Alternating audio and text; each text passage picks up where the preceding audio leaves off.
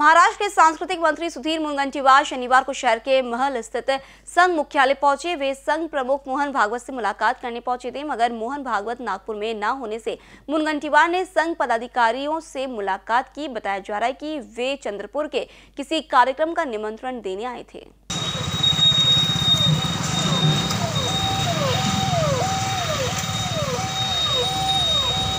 सुधीर भाऊ भाऊ な感じ